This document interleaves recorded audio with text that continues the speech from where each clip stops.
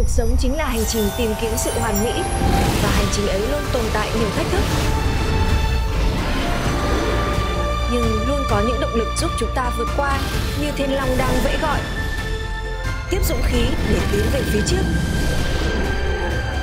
Một thế giới tự do và hoàn mỹ đang chờ đón bạn. Bạn có sẵn sàng? Cùng Hoàng Thúy Linh tham gia vào hành trình trải nghiệm Thiên Long Bát Bộ 2 VNG. Thế giới Thiên Long hoàn mỹ